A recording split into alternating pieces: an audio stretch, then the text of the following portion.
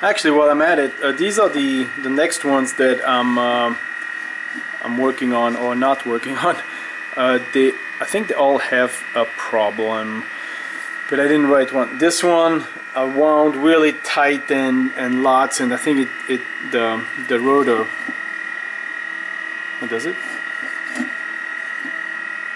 I don't know if it does now but I think um, and I have I have two power so I have like if the rotor is like this in a cross then I have power and power. Okay this is where there's two red and two blue and then the the enamel is the uh, trigger.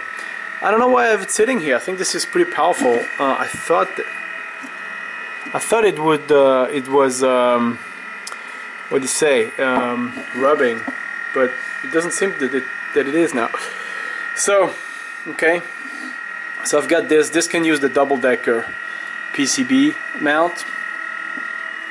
This one I think just doesn't work and I don't know why. Maybe I, I didn't put enough trigger uh, windings. I don't know.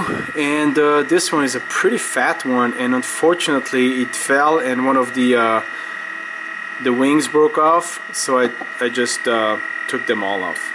It's the first time I do that. Okay. See this one is pretty fat so I'm looking forward to winding these. And back here I have some uh, 6 volt batteries also everything from the uh, recycling point. Um, and uh, here this I found this today uh, on the street because it's almost the day where people put their shit out and uh, it's a great time to pick these things up. It's probably some sort of a lighting device and uh, if I, if I plug this in and there's a switch uh, if I put on the one nothing happens. The number two then the fan starts turning. But it's probably a 220 it's probably a 220 volt fan not a DC fan.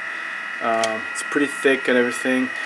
So the nice thing the reason I take these anyway is uh, maybe I'll uh, scrap some components but really um, I think I really think I stopped uh, I stopped building my stuff off of scrapped components.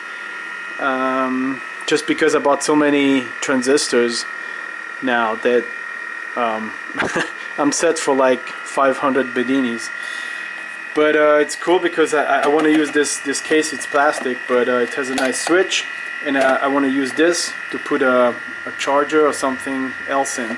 And if I need the fan then I'll use the fan or if not then I'll replace this with a uh, DC fan or a Bedini fan. This is all metal, so it's it's really cool stuff. Okay, so uh, casings and and um, this kind of stuff is really useful, or at least I find useful. This is stuff that I do um, because buying a enclosure. That's what the word I was looking for. Buying an enclosure gets pretty expensive. Um, as one of this size, even if it's a regular dimensioned one. So I like uh, doing some real recycling here. All right, bye now.